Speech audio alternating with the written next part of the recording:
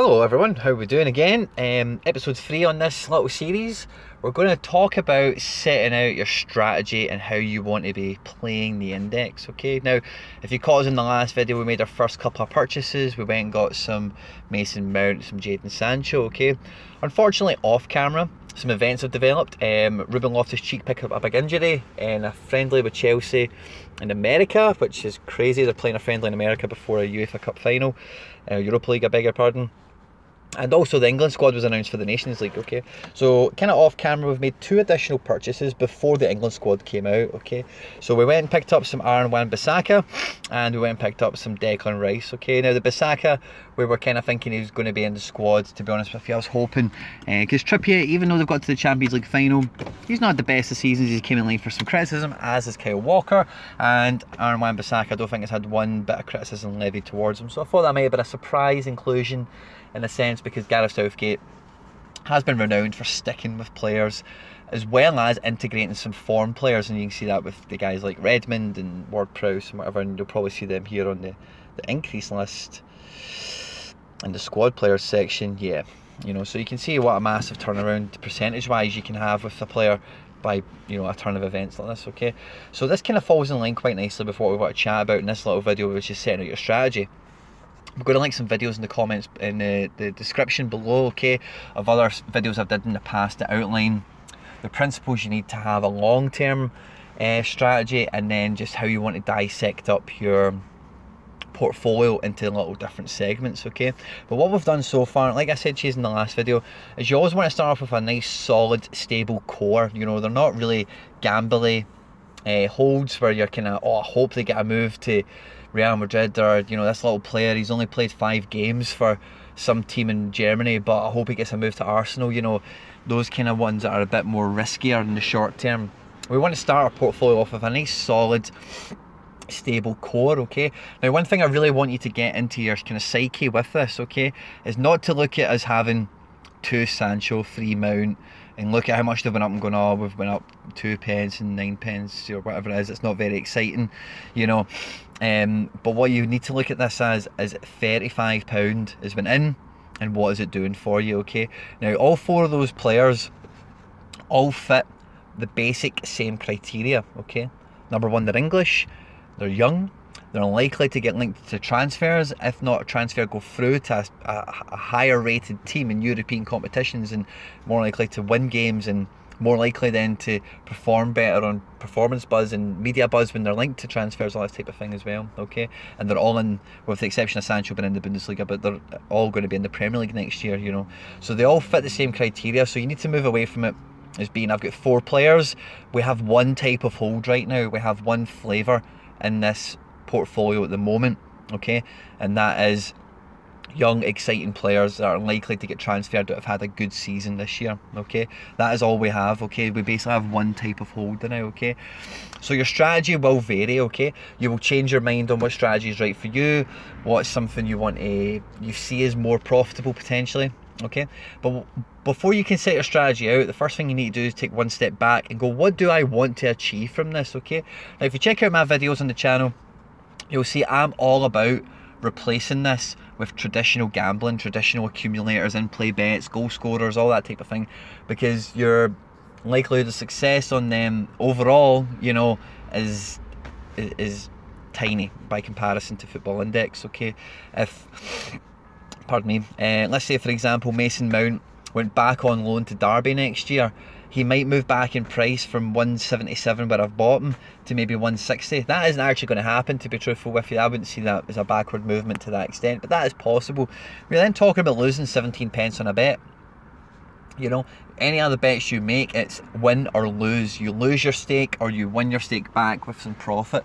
You know, whereas this has a lot of amazing middle ground where you can't really lose too much, okay? And if you check out my earlier videos um, on the channel, you'll see I make withdrawals constantly. I make withdrawals after big trades all the time that are profitable because I want to have money come back into my account. So that's my strategy. Your strategy might be very similar. Your strategy might be I want to put money into this and turn it into something, or you know, you need to have your end goal set out. You know, with the last withdrawal I made, I withdrew like thirteen hundred pound. I had a tax bill to pay, and I knew I had the tax bill to pay. So when I was um, making buys and putting money away, I had that deadline in my head of on this date I need to pay my tax bill, and it is this amount, it's a set amount. So I want as much of that bill to be paid by Football Index profit than anything else.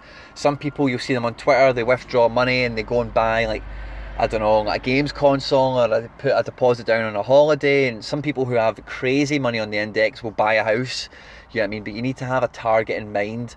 A purchase is always a good thing. You know, a computer game you're eyeing up in the next month, or you know, it could be anything. You know, getting ahead on your payments on your car, a weekend away, holiday, whatever it is. Okay, so that needs to be your starting point.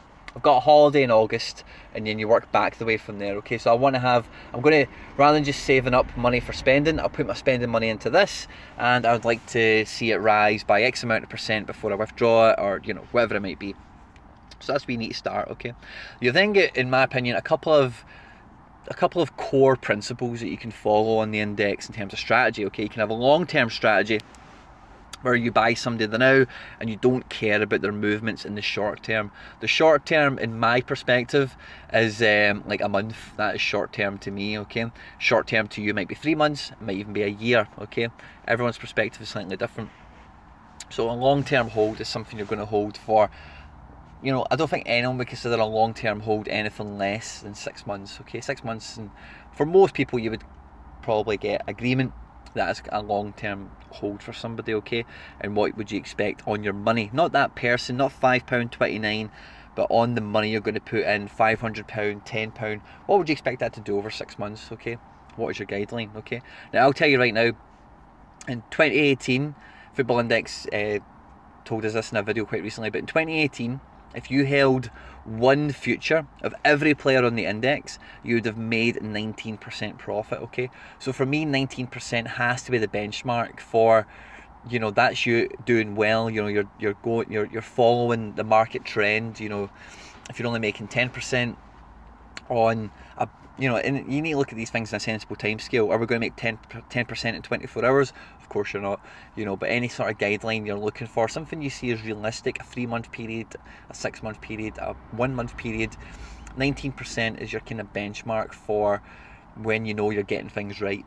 Okay, when you're getting things extremely right, then you'll go beyond that threshold, and if you're nowhere near it, then you really need to think to yourself, what are you doing? Okay, now with your strategy, I'll show you the transactions we've had on this account. Okay, so we opened this account yesterday. Um, and you can see everything here okay? Is, these are all the buys and everything okay?